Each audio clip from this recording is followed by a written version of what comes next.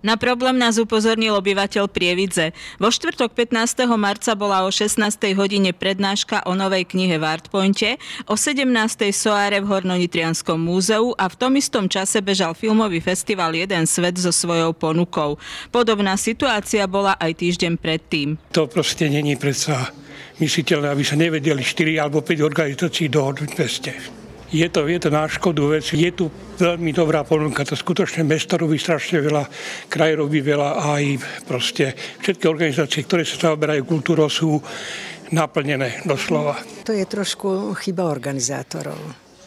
No viete, že niekto chce niečo zaujímavé a pritom už je zase podujatie iné, tak rozhodujem sa, idem na to alebo idem na to. Predstavitelia kultúrnych inštitúcií, ktoré v meste zastrešuje buď samozpráva alebo Trenčiansky samozprávny kraj, sa zhodujú v tom, že pri zostavovaní kalendára podujatí spolupracujú a snažia sa dohodnúť. My vlastne vždy rok predtým, e, ako beží aktuálny rok, pripravujeme kalendárium kultúrnych podujatí v celom regióne Hornej Nitry. Sú sústredíme informácie už v priebehu septembra predchádzajúceho roku, oslovujeme všetkých, všetkých nositeľov a pokiaľ dôjde k nejakej kolízii, tak sa snažíme tieto veci koordinovať.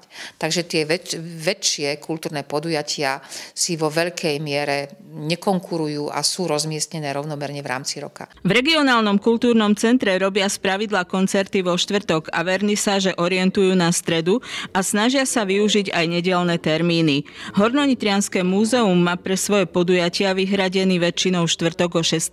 hodine. Naozaj to hľadanie tohto termínu plánu nebolo jednoduché a stávajú sa situácie, že v jeden deň sa stretnú aj dve, aj tri podujatia. Ale domnievam sa, že Prievidza má tak veľa obyvateľov, že je možné, že sa môžu rozdeliť a každé jedno podujatie môže vykázať veľkú návštevnosť. Ak termíny kolidujú, určite to nerobíme zámerne a z veľkej miery to ani nerobíme preto, že by sme o sebe nevedeli. Jednoducho, nie nie vyhnutia. Je to viazané na ten termín, nedá sa to posudnúť. A potom si človek povie, či to chce robiť alebo nechce robiť. No, v každom prípade e, z môjho pohľadu je dobre, keď, e, keď je sťažnosť, že nemôžem byť na viacerých, lebo sa to prekrýva, lebo to znamená, že ľudia majú záujem. Veľké celoregionálne podujatia majú v kalendári svoje fixné miesta. Koordinujú sa skôr menšie podujatia alebo tie, ktoré sú viazané na umelcov z profesionálnych scén. Tam sa častokrát organizátori musia prispôsobovať ich voľným termínom. My sa veľakrát musíme e, držať termínov, ktoré sú nám ponúknuté e, v podstate podstate buď e, od ich manažérov, alebo teda od e, týchto umelcov individuálne. Prievické kultúrne a spoločenské stredisko napríklad zastrešuje 6 kultúrnych domov a 3 pobočky Mestskej knižnice Mikuláša Mišika.